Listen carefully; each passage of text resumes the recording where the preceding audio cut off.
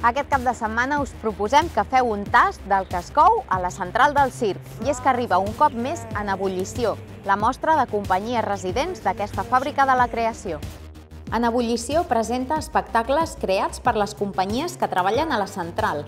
A més, es convida el públic a participar en activitats familiars i assistir a una festa posterior amb música.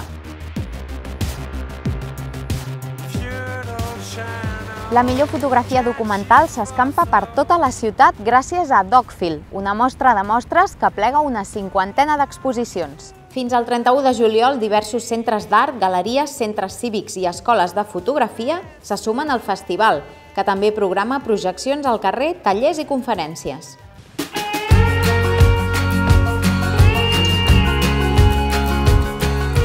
Josep Maria Flotats torna al TNC i s'instal·la a la Sala Gran amb una comèdia francesa del segle XVII, El joc de l'amor i l'atzar.